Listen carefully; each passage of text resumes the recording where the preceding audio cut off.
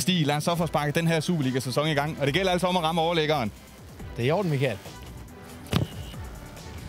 Ej! Ej, for satan, hvor, hvor var det langt fra. Det var jo helt vildt.